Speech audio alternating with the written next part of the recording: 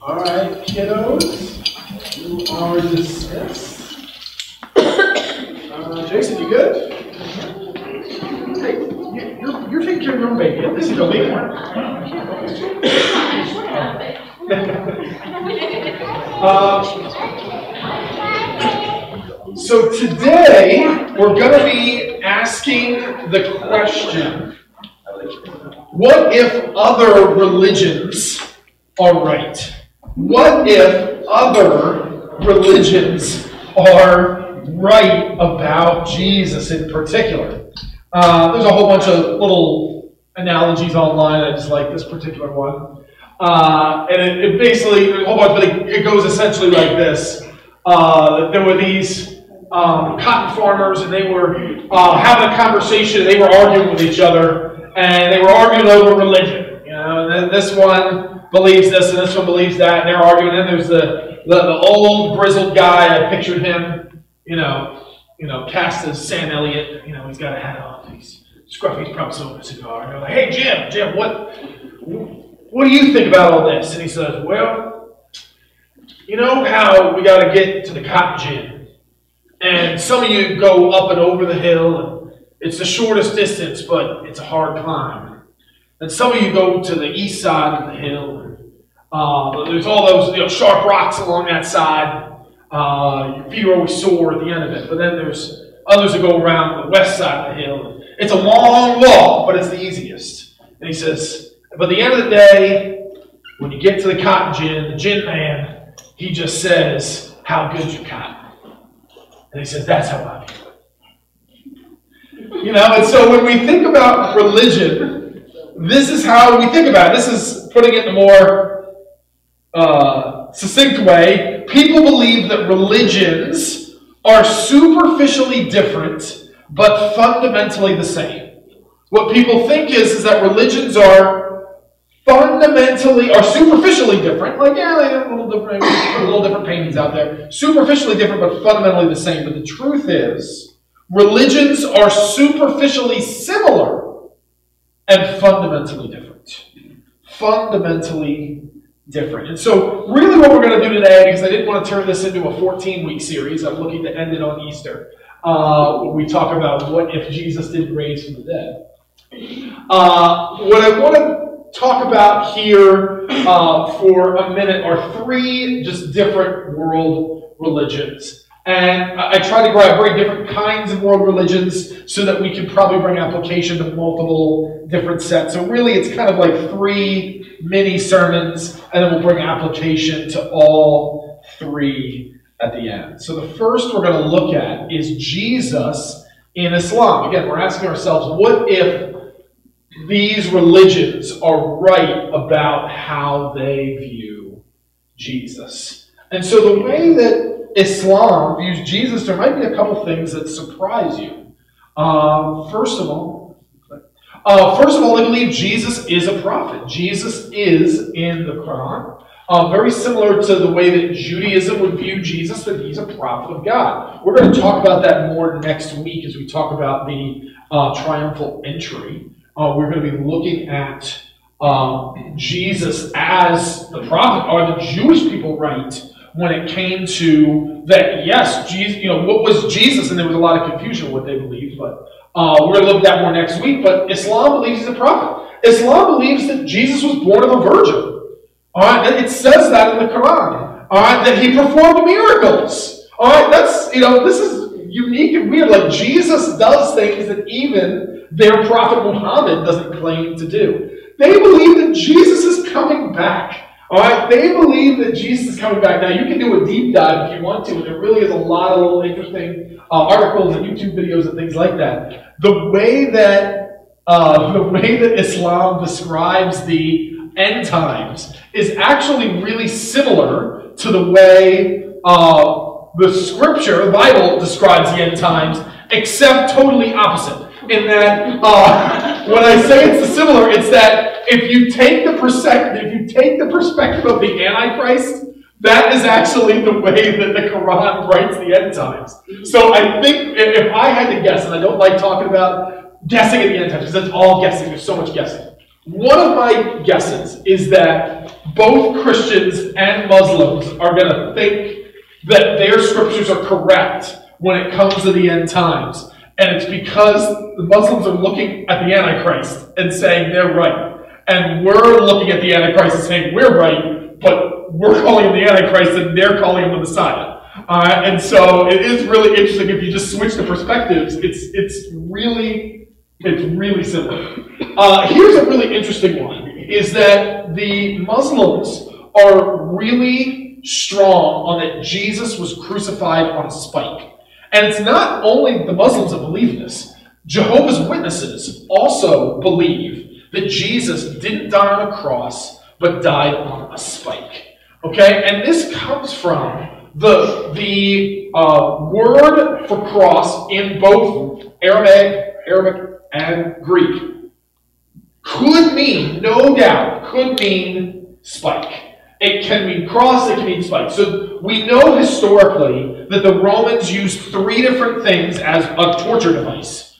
Number one was what we would think of, I, I call it the capital T. There really wasn't a lowercase t cross like what you're wearing around your neck now. Uh, they would use like an uppercase T cross. Uh, and, and, but that is what they would use to crucify like this. There was the X-shaped cross. If you grew up in Catholic, you would call that St. Andrew's cross. All right, the X-shaped cross, they would tie you up like this, arms and legs spread. Uh, and then the third way they would crucify people, I'm going to wear a long shirt today, uh, is uh, they would crucify you like that. Uh, and they would, uh, and so it really is just where your hand position and leg position. Uh, and they would crucify you like that. They would use the term crucify on, on a spike. So that is absolutely, historically speaking, hypothetically possible. If, if you want me to like give you like that's a really big deal. to You how do you prove that he was actually, he actually died on a cross and not a spike? My best argument would be when Jesus is talking to um, when Jesus is talking to uh, Thomas and he says, "Look at my hands, the nails." that pierced them. He specifically uses a plural word for nails. If he was crucified like this, he would use one nail to crucify his hands, and he said nails. And you're like, that's the best argument you got? Like, yeah, everywhere else it just says cross. And so if the word cross can mean spike, how do you argue against it? Uh, the easiest thing is, it doesn't really matter. Uh, if Jesus died on a spike for the sins of the world and raised again three days later, it would work. All right? it's not like, oh no, this messes up everything. All right? Salvation would still work uh, and we would be, you know, wearing uppercase I's around our neck instead of lowercase T's. Um, and so, like, would that be that different? No. But there's a reason why Muslims and Jehovah's Witnesses both hold so tightly to this because they also can't prove that it wasn't a cross. They're just saying this word is the word we use for spike. That is true. It is just also the word we would use for cross. Um, and so, uh, like, it, it, literally just means, tor- it literally means torture device. Um, but this, the reason why they're so strong on it is because they're, but they're saying that you Christians have been lied to for centuries. It's meant to sow doubt in what you believe. Like, hey, you've been taught your whole life it's uh, a little lowercase t, right? You know what? Going to show you right here. Let's open up Aramaic Bibles, and I can prove to you it says spike. Uh, and you're like, what have I been lied to? If you've been lied to about what he's been crucified how much else have you been lied about?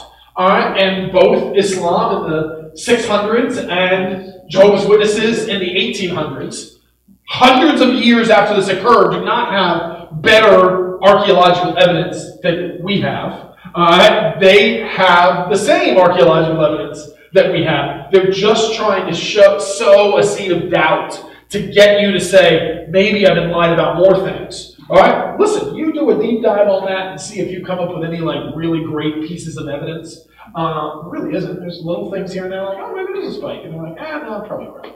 Um, but it is meant to just say, I think you've been reading this book wrong and you've been lied and these translations have been deceiving you. It's something really common that you hear from Jehovah's Witnesses. Your translations have been deceiving you. Our translation won't deceive you. Okay. Uh, our one translation that we don't even know who actually runs the Watchtower anymore, but that one's not deceiving you. But you are being deceived. So both Islam and Jehovah's Witnesses, both are really strong about this. Uh, and then in Islam in particular, Islam doesn't believe that Jesus actually died on the cross. They believe that Jesus was rescued from the cross before dying. That yes, he was dying on the spike. He was dying, but God rescued him because that's what God does to his prophets. This is what God does. He rescues. And so God rescued his prophet Jesus, and that is how he is able to come back. So they do not believe that Jesus died. All right, and the whole idea behind Jesus as a prophet, and it's the same concept that we see in other religions as well, is that Jesus came to show us the way. Did you hear that? That Jesus came to show us the way. That he didn't come to be the way. He came to show us the way. That he came to show us what love looks like. He came to show us what love of God looks like, what show us what humility looks like, to show us what compassion looks like, to show us what it's just to show us something. All right, and the cross was meant to show us that you know what Jesus is willing to do for us in the same way we should be willing to die for God. All right, and His will. And so He's just showing the way. All right, and it ignores what we would call the substitutionary atonement, which is what Christianity is all about. That we couldn't earn salvation on ourselves. I've talked about this before in Islam. There's an expression if you ask someone who's a Muslim, like, are you going to go to heaven one day? Their, their answer is going to be, Lord willing. Lord willing. And that is, it might sound normal to us. Like, we might say something like that. We might say, yeah, yeah, Lord willing. But I don't think we should. And it, we certainly don't mean the same thing. They're saying Lord willing because they know they have to have followed these five pillars of Islam They've got to pray so many times a day and make sure they don't eat during certain times of the year. Make sure they've given a certain amount to charity. Uh, make sure they've attested to God who God is and who the prophet is. Uh, make sure they have gone back to Mecca at least once in their lifetime. So each of those things are, you can only say, I hope I have done well enough. I hope, because there isn't a standard of this is what good enough looks like, because good enough is perfection. And they know they're not that, so they have to just say, yeah, I hope my prayers were heard and that God shows mercy to me. That, and so, Lord willing, I hope. Our answer is that Jesus died on the cross for my sins. That Jesus took the penalty that I deserve to pay. That any grace and mercy I'm shown is because of what Jesus earned on the cross through his death. He took on our death and our punishment in our place. Uh, uh, there's going to be three different passages I have you turn to. It is in the app if you are like, I can't be turning to three different passages. it's all in one spot on the app. It was just too long to write up here. Uh, and I'm going to read it. We're going to break this passage down more on Easter Sunday. All right, and but I didn't want to ignore it now. It's almost like I get to introduce this passage to you now, and then two weeks from now, we'll break it down a little bit more. But I want to introduce it to you today. So I'm going to read it weird, like a letter, like a story that Paul was writing. All right, so I'm just going to kind of read it straight through here. 1 Corinthians chapter 15. And he says, Now I would remind you, brothers, of the gospel. Brother? That's always not good. Okay. I would remind you, brothers, of the gospel. I preach to you. You, which you received, in which you stand, and by which you are being saved, if you hold fast to the word I preach to you, unless you believed in vain. For I delivered to you as of first importance what I also received that Christ died for our sins in accordance with the Scriptures, that he was buried, that he was raised on the third day in accordance with the Scriptures, and that he appeared to Cephas and the twelve, and that he appeared to more than 500 brothers at one time, most of whom are still alive when I'm writing this in about 60 AD, 30 years ago, uh, though some have fallen asleep. Then he appeared to James, then to all the apostles. Last of all, he appeared to one untimely born. He also appeared to me. For I am the least of the apostles, unworthy to be called an apostle, because I persecuted the church of God. But by the grace of God, I am what I am. And his grace towards me was not in vain. On the contrary, I worked harder than any of them. Though it was not I, but the grace of God that was within me. Whether then it was I or they, so we preach and so you believe. Now, if Christ as raised from the dead, now if Christ is proclaimed as rise from the dead, how can some of you say there is no resurrection from the dead? But if there is no resurrection of the dead, then not even Christ has been raised. And if Christ has not been raised, then our preaching is in vain, and your faith is in vain. We are even found to be misrepresenting God, because we testified about God that He raised Christ whom He did not raise. If it is true, the dead are not raised. For if the dead are not raised, then not even Christ has been raised. And if Christ has not been raised, your faith is futile, and you are still in your sins. Then those who are fallen asleep in Christ have perished. If in Christ we have hope in this life only, we are of all people most to be pitied. But in fact, Christ has been raised from the dead, the first fruits of those who have fallen asleep. And so he is saying, like, this is not a secondary issue, this is the primary issue. The primary issue is that Jesus died and then rose again. If he didn't die, he can't raise. And if he didn't raise, you are still in your sins. You are still in your sins. Nothing happened. If Jesus was on the cross and was beaten and was tortured and was dying, and Jesus rescued him before he could actually die, you are still in trouble. You now have a great little example you have a great little example of what sacrificing yourself for others might look like. And that great little example will do nothing for you. that great little that great little story uh, is worthless if Jesus doesn't actually die and literally raise from the dead. And so this is when it comes to Islam. Of all the good things that some Muslims do in their religion. Muslims are just like Christians. There's ones that are just Muslim There are, there are many or millions that are really devoted. Pray a ton. Pray a ton. All right, they do all kinds of like nice things and good things. None of that does anything.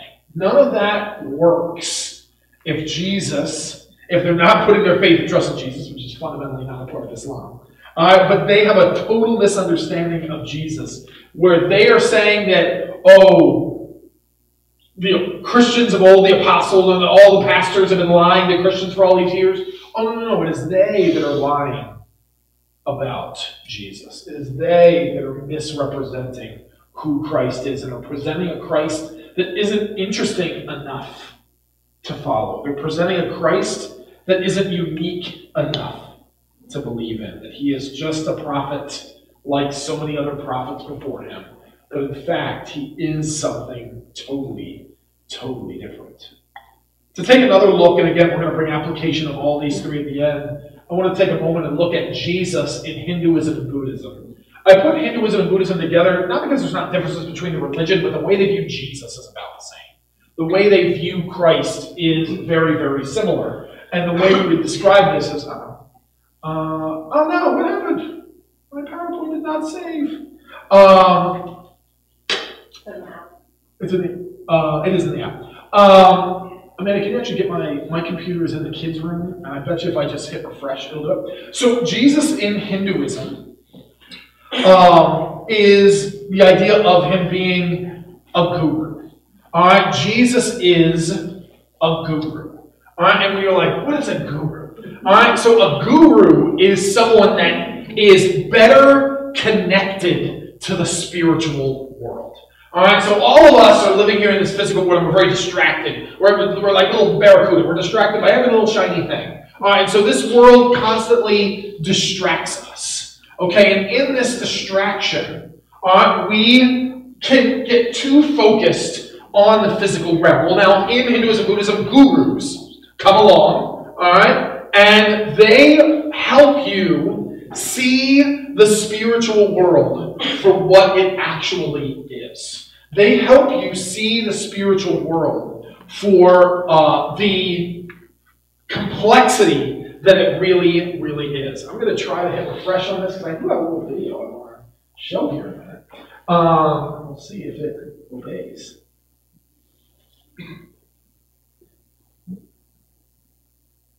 Can you just go um, back check and see, if I close out and go back in and see if it um, saves?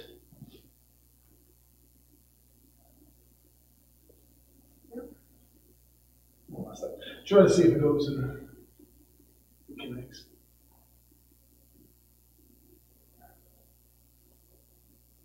Okay, there we go. Awesome.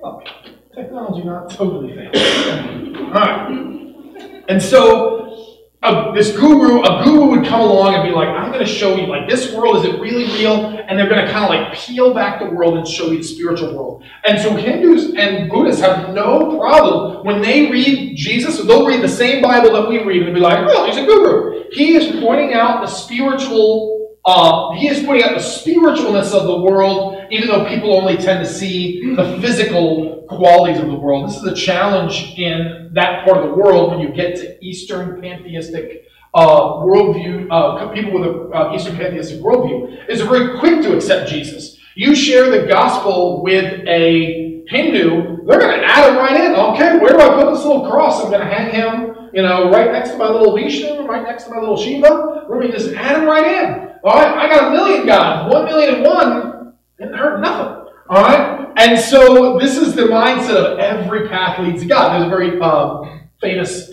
uh, expression of a, an Indian guru, and he took he was teaching his little disciples, and he had these five blind people come up, and he tell he says, "I want you to come up, and I want you to tell me what it is that's in front of you." And the first uh, the first man, blind man, goes and he feeling around. He's like, "Oh, it's a tree. I'm, I'm feeling a tree here." And the second blind man comes up, and it's like, "This is this is a wall. This is a wall." The third one comes up, and, he, and he's like, "This is a uh, this is a rope. It's a rope of some sort." Uh, another one comes up, and he's like, "Oh, it's a it's a snake." It's a snake. Well, now, what everybody could see is that these blind men were all touching an elephant.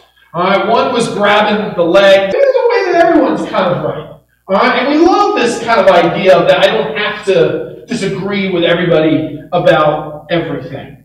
All right, but the answer is that is incorrect. They, the answer is they were all wrong. it's really what the answer is. No, it was an elephant, you blind idiots. All right, like that's the the truth, and that people might see everything, but when you actually can see, you see what it really is, and it's an elephant. And there are people that are blind and seeing little aspects, and there is no doubt there are little superficial things. People, religions around the world have picked up on these fundamental ideas of there is something greater than us. There does have to be a creator. You shouldn't murder people. All right, these are things that we've like, huh, we've kind of reasoned from the evidence. All right, but it's not, it's saying that we basically superficially grabbed some truth, but we have missed the fundamental truth of what it is. Uh, it's also really interesting when the way that Hindu or Buddhist would look at Jesus as a guru is they would believe Jesus when he would say, I and the Father are one. They would believe Jesus when he says that because they do understand this idea of everything being connected. The idea of Jesus is God is true to them because God is everything. All right, that's what pantheism is. Pantheism is that God is in everything.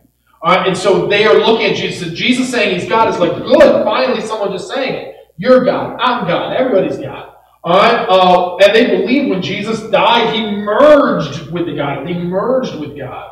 Uh, and this is when you hear somebody say namaste. What namaste means is the God in me recognizes the God in you. That's when they say namaste. The God in me recognizes the God in you. And so we as Christians might hear that and be like, oh yeah, like something like the Holy Spirit's in you, and the Holy Spirit's in me, I I said, no, it means something so different. They're saying that if God is everything and you are something and therefore you are God, uh, and so they're just saying Jesus, by him calling himself God, him being, you know, all the expressions that he really is God, he's part of the Trinity, all these things are just a way of expressing that he is one with the universe now. So, how do we look at the idea of Jesus um, being one with the universe, Jesus is guru? Well, my answer to this is in the movie The Life of Pi. Uh, and if you haven't seen the movie, I love The Life of Pi. I think it is just beautiful in every which sense of the word. And the storyline is this little kid is like grows up in India, and so he starts as a Hindu, and then he converts to Islam, uh, and then he converts to Christianity. And so he is a Hindu, Muslim, Christian, uh, and he tries to follow all three. His dad doesn't understand that you can't do that. You got to pick one. Uh, and the whole movie is very postmodern. It's one of the examples I use in my classes is like, this is what postmodernism is. That there are these people that just want to be everything. They want, like, they don't want to disagree with anybody, so they want to be a Hindu and a Christian and a Muslim. They want to be everything. And it doesn't make any sense. But there's this little scene in the movie where this, this little kid asks the right question and he gets a terrible answer. And it messes up everything. Here's the question he asks, and here's the terrible answer he gets. This is a Catholic priest he's talking to. Why would a God come back? Why would he send his own son to suffer for the sins of ordinary people? Because he loves us. God made himself approachable to us, human, so we could understand him. We can't understand God in all his perfection, but we can understand God's Son and his suffering as we would have others. That made no sense. Agreed, grown up Pi. So, this is what happens when you try to do the. I'm, I'm trying. I, he's a good example. He's a good example to us because the, the kid like picks up on it. He's like, it's a good. It's a good example of a father sending his son to suffer. What's the good example in that? Why is that a good example? Uh, he's showing he loves us. There's got to be better ways to show you love someone. I love you so much. Kill myself. I'm like, what? That doesn't make any sense. All right, the answer is easy. He, that God knows everything. He loves his son. Easy. We, we see this play out like in the story of Abraham and Isaac. That like he- there's clearly he loves his son. We are celebrating when another sacrifice comes along. All right, and now here comes God's Son, whom He loves, whom He cherishes, He's been in eternal fellowship with, and He loves the world. And now there's this okay, I love the world so much, I am going to send my only begotten Son so that He can die on the cross for the sins of the world because it's the only way to salvation. It is the only option. If there were other options, Jesus would have taken the first whip from the cat of nine tails and been like, ah, no, there's no short. Okay, follow Muhammad, follow Buddha. It's close enough. Hurt. Pretty, pretty close. So just get close. I'll, I'll, forgive you the rest of the way. he goes through it because it's the only way to salvation.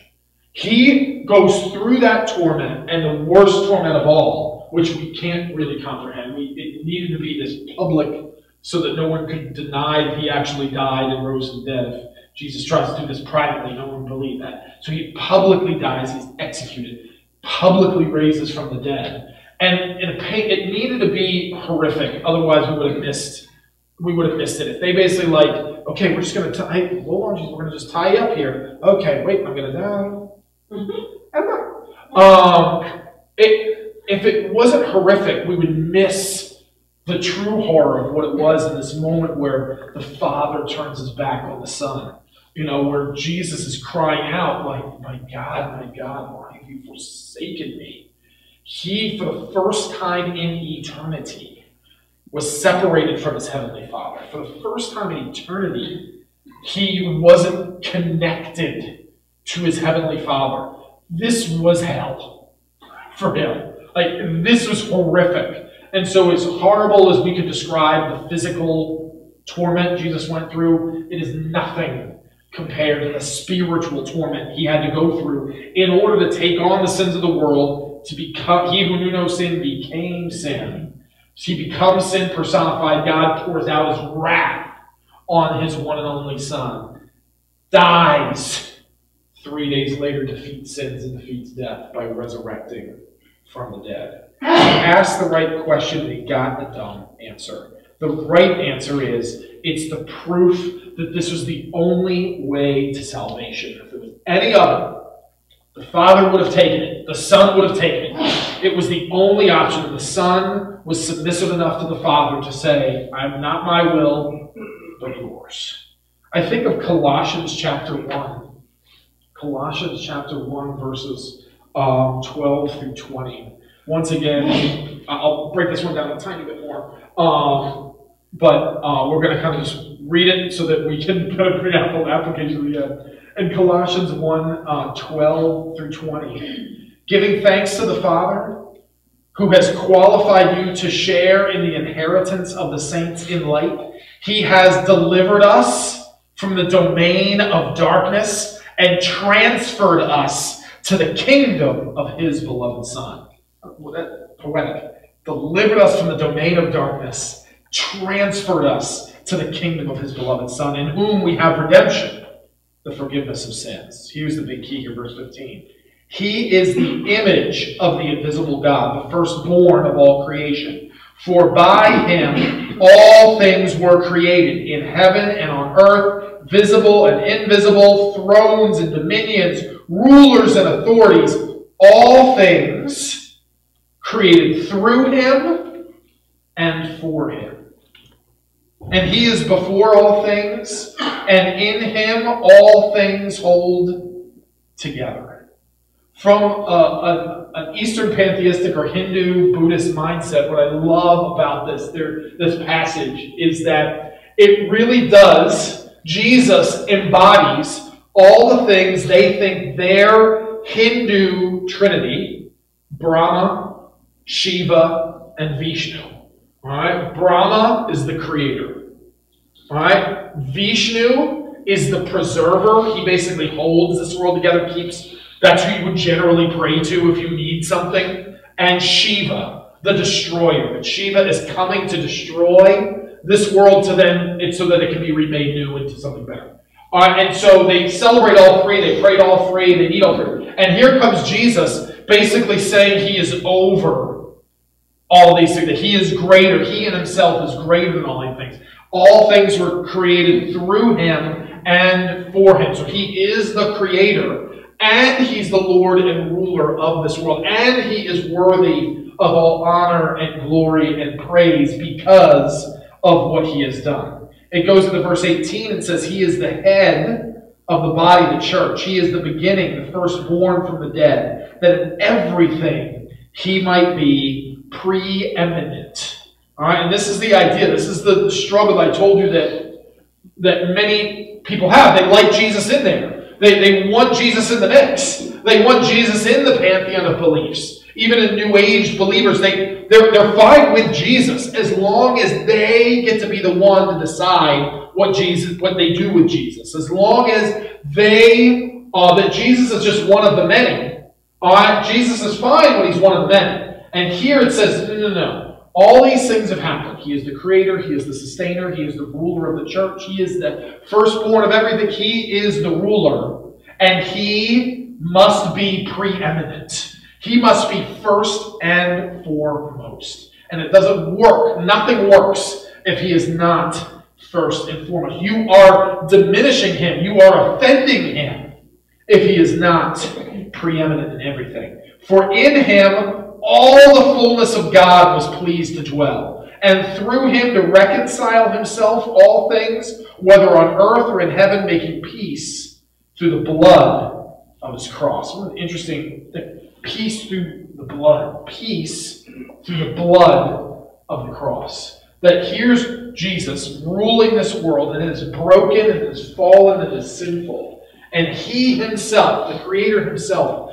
goes and dies for his creation in order to redeem it or save it or restore it or bring peace to it. Whatever term you like best. But what a great passage to exemplify that Jesus is not one of many, he is the one of one. That he is not like God, that he is not God like, he is not revealing God, he is not connected to God, that he is God himself, that all the fullness of God dwells in him. There is nothing about him that is not God. He is God. One last thing, and then we'll bring application. And I wanted to grab um, uh, God, uh, Jesus. I didn't put the title there. Jesus in Mormonism. Jesus in Mormonism. Mormonism in America today is the second largest religion in America. Christian, if you take Christians and Catholics as one thing, Protestants, Catholics, we and two, then maybe number three. So if we take Christendom, is that a better word for you? Christendom. Um, more, there's more Mormons than there are Muslims in America. There are more Mormons than there are Hindus in America. There are more Mormons than there are any other religious identifier in America today. About two percent of the population. All right, two percent of the population are Mormon. All right, and uh, they all kind of look alike. Um, this is what when it comes to Mormonism, that Jesus is a God. It would be certainly similar to what we would say with Jehovah's Witnesses as well. Jehovah's Witness, like, literally changed uh, the translation of Scripture, which is why they say you can't trust your translation, you should trust our translation by these non-Bible scholars that were writing this in New York and the Watchtower. Uh, in the beginning was the Word, and the Word was with God, and the Word was a God. They literally add that little that word a in there, that he's a God. So Jehovah's Witnesses and Mormons are very similar in that one sense. And I know we tend to group them together because they're both kind of prominent Christian cults in America. Uh, but Mormons are very, very different. And I always try to find the line. Where's the line to be respectful and truthful? I don't think I have any Mormons in here, so I'll just be truthful. Um, where I, when people ask me, what do I think is the craziest religion in the world? That's easy, Scientology. Um, if you ask me what the second craziest religion in the world, I think about it a minute, but then I say Scientology for number two as well. Um, and then if I have to go top three, I'll go Scientology third. But if I go fourth, Mormonism is fourth. All right, um, Mormonism is is really is the is insane. It is the insane rantings of a not sane person.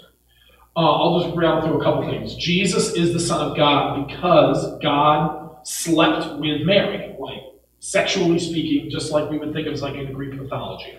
Satan is Jesus' brother, not because it's just their brother, but Jesus has a whole bunch of siblings.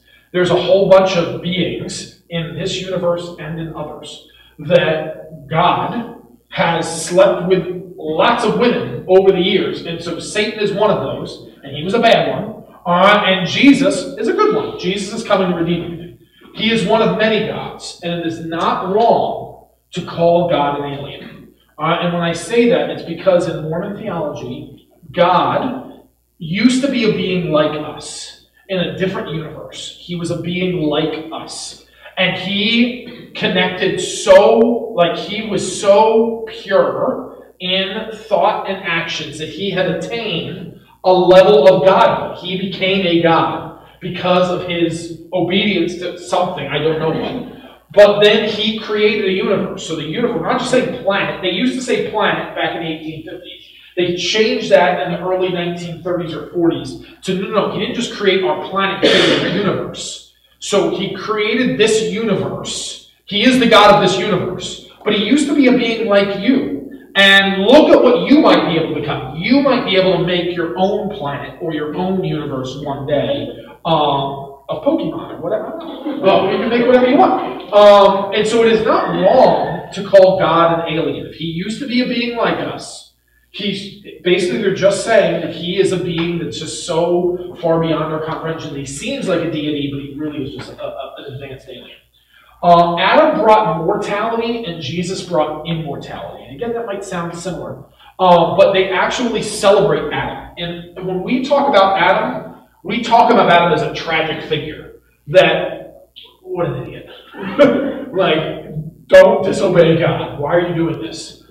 They look at Adam as a good thing. So Adam, we were, he created, God created spiritual beings. But as spiritual beings, that's all we would be able to be. So when God created us, we were just spiritual beings. The journey that we were going to take now for immortality is we first have to become mortal. So Adam made a sacrifice. His sacrifice was bringing death to himself. But he brought death knowing that once we create a physical body and then shed it, that spiritual body has the potential to become immortal. And so Adam is celebrated as a prophet, as a he did the sacrifice to become mortal, that Jesus makes the sacrifice to become immortal. This is raving nonsense. And then Jesus uh, saves those who perform his good works. So this is my response. Um, why is Joseph Smith a prophet? Why is Joseph Smith a prophet? I don't know. Like, there isn't anything about He didn't perform any miracles that proved what he said. He made a whole bunch of historical claims that there were two extra tribes, that there were 14 tribes in Israel, and that two of them came to America after the Exodus and populated the Native American. That's what Native Americans are, or Jewish people living in America. And that they built cities of gold and preserved the true scriptures of Abraham and whatnot. He, there's no evidence of that. They have done genetic testing. Native Americans, not Jews. Uh, that we can prove that genetic. We have not found any of these giant cities of gold that were supposedly under the Salt Lakes. Uh, we didn't find any of those. They were in Missouri, first of all, and then they got kicked out of Missouri. He says, oh, wait, no. You don't. Um, he, the, this Mormon bought, uh, one of his followers bought a Egyptian papyrus in Egypt. And he then, then Joseph Smith, who was not an Egyptologist, translated it into the book of Abraham, which then is added into the Pearl Great Price. And it basically tells this whole story of Abraham. Well, they used to show off this papyri to people, and people, uh, Egyptologists were like, that's not what it's saying at all. It's just a, it's just a burial, it's just, a, it's just the record of the burial account of this one random person. It has nothing to do with it. What are you talking about? Like, that's not what this word, like, they can translate it, and so then it mysteriously burned in the Chicago fire uh, in 1904. Uh, and so we can't read that anymore. We can only read the translation. I it, it is easy to poke fun at it when I'm around people, and I, I would I be respectful when I was talking to? I would. This is the biggest reason why. The biggest reason I would be respectful is they, they don't know any of this stuff. If when you talk to a Mormon that you meet, they won't know half of what I just said here because they go to church on Sunday and they're taught to love their neighbors and they're taught to be kind to others, and they're taught to give to their church, and they're taught to love their children, and they're, they're taught a lot of good, positive, we would all agree on things. It's not until you move up in different levels, they have different names. You'll introduce themselves, they'll call themselves brother, uh, but that isn't the same. We, that, that's a level up. That's when you, brotherhood is the first level up, and then you can um, become a deacon, and you can become a priest, and then you can become, you like, you keep leveling up. And as you level up, you learn more of the secrets that ultimately you are hoping to be your own God, your own universe one day. And when the biggest key is you can't add to Scripture. If if you talk to a Mormon and say, let's do this, strip away the Book of Mormon, take away the Book of Mormon, take away the Pearl of Great Price, what does God's Word actually say? And that's what we have to focus on. Uh, in Hebrews um, chapter 1, it tells us that a long, long ago, at many times and in many ways, God spoke to our fathers by the prophets. But in these last days, last set of prophecy that we're getting, in these last days, He has spoken to us by His Son, whom He appointed the heir of all things, through whom He created the world he is the radiance of the glory of God and the exact imprint of his nature. The exact imprint of his nature. And he upholds the universe by the word of his power. After making purifications for sins, he sat down at the right hand of the majesty on high. There is no other God but Jesus. He is God. There is no other universe outside of being able to sit at the right hand of God, the right hand of the Father. There is no other creator other than Jesus himself. Uh, and so to say that Jesus is some lesser being than the creator is ignoring all the different passages of Scripture. Right? And this is, um, you know, in 2 Corinthians chapter 11, it talks about that Satan in many instances presents himself as an angel of light. I guess maybe our thought is that, okay, when, when Satan tries to deceive people, that he's always going to deceive them in like, all right, red leather spandex and horns, uh, you know, point of view. No, like he deceives subtly. And so you look at like Mormonism and it's like, wow, they are more conservative than us than in a lot of senses. They dress more conservatively. They are they, they are stricter when it comes to what you can and can't do. No caffeine. Right, that's a sin. Like Christians be drinking all kinds of caffeine. caffeine. Right, not a single one of you doesn't drink caffeine. Uh, like, and that that's like they put that up there as like there's alcohol, caffeine, Um, so like they, it is. They want to just put it as like, yeah, don't put it like they have all these rules, and so we look at that, and they're like, oh, that's that's really godly, right? Lots of rules is really godly. No, it isn't. No, it isn't. All right. What godliness looks like is worshiping the Creator and the Savior of the world. So when we, when we get the big remember, all world religions seem to do the same thing. They take away the full deity of Christ, or in some instances, they take away the humanity of Christ, but it's not as common in world religions today. It was actually in the early days of Christianity, they were facing that more often, that people were saying he was God but not human. Now it's much more reversed. They're saying he's human but not God. Uh, and they all make salvation a works based solution for the afterlife. Every world religion is exactly the same except Christianity. Everyone is saying Jesus is God, and everybody is saying you have to work to earn your salvation. And here comes Christianity saying the opposite. We're saying, no, Jesus is God. And we're saying there is no works you can do that can earn your salvation. Nothing. It is by grace through faith alone. So when we take application, there's this personal, and then there's this, there's the personal, and there's the, the um, evangelistic application to it. The personal is this we have to understand this better. This is all of us. The deity of Christ is really difficult. Like, God is complex. Like, understanding that Jesus is both God and man, that's hard. Like that is not our brain immediately starts to like like our eyes start twitching when we start thinking about like Jesus being God. How is how is this conversation of the Father and the Son they the same? Wait, no, but the Son is. And so we have a tendency to just be like, oh, I don't want to think about that stuff. And, and we need to. And, and there's the reason why we need to is A, it will always lead to worship of Jesus. It, as he, at, as complex as he is, we worship him in that complexity. The last thing we want to do is figure out that, like, wait, Jesus is like super simple? Oh, that's dumb. It, there is no, there is no going to be a plot reveal that, like, oh, this is really easy. If Jesus was simple and basically was just like a little two-dimensional cardboard cutout, then we'd be like, why am I worshiping that?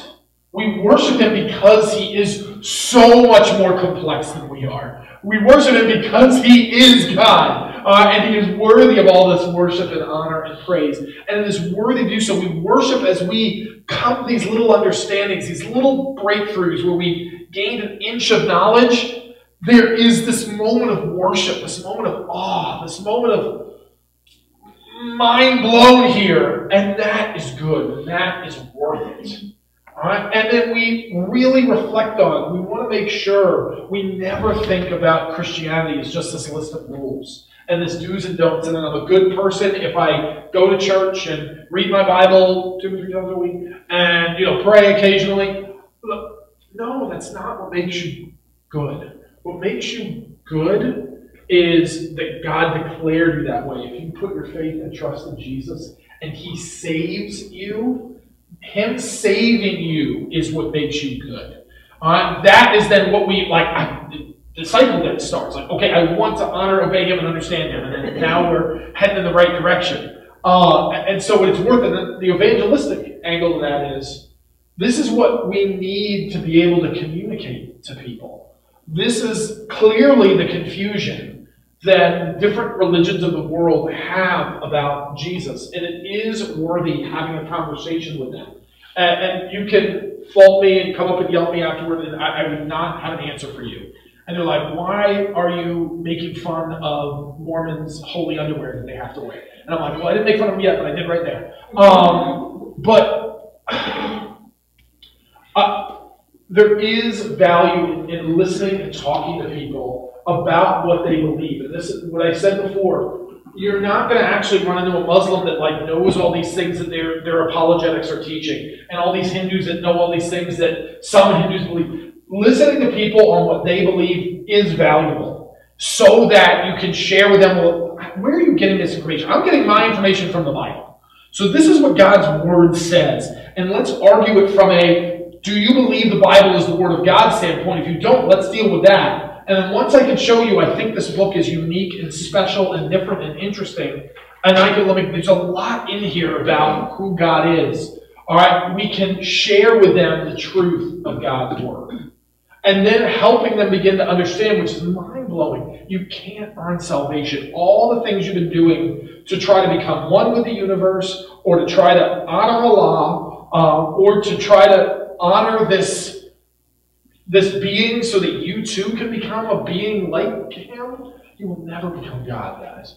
Uh, but if, if in their pursuit of being God, like, no, like, this is what the scripture actually have to say. And this becomes this evangelistic. We know what we're going to have to deal with. We're going to have to deal with who Jesus is, and we're going to have to deal with that no amount of good works could ever be good enough. And there's rejoicing in that. There's fear when we find out we can't be good enough. And then there's joy when we find out that Jesus loved us enough to make a way, to become the way for us to be saved. Let's pray together. Jesus, I do, uh, I do want the opportunity to share the gospel with someone in my life who might be being deceived by Muslim teachings or Hindu teachings or Mormon teachings. God, I pray that you can open their eyes, show them that your word is something different, something special, is something unique. That when they hear your words and they hear who you are, that they are broken to the core that they realize in that moment that they have never honored you the way you deserve to be honored, that they have never worshiped you in the way you deserve to be worshiped, that they have never thought of you the way you deserve to be thought about. I pray that in our own lives that we pursue understanding, that we do spend our lives trying to understand your nature better, your character better, we try to understand your actions better, that we understand who you are, so that we can worship you better, and then we can then communicate that truth to others better. Jesus, we love you and we praise you for your patience with us, uh, your kindness towards us. Uh, Jesus, we do pray that we can be the ambassadors for you uh, you want us to be. This is not new. This is what your apostles, your followers you have been dealing with for years. People that have their own beliefs in God and that they're they're believing just what you know, they're believing something false. You brought you intersected into this world to bring truth to this world, and we are to be those truth uh, bearers. We are to be the uh, we are to be carrying this banner of truth, this uh, we are to be carrying this torch of truth in every community we live in and work in and shop in and serve in, that we share with the world that you are the light and Savior of the world, God. In Jesus' name I pray. Amen. Amen.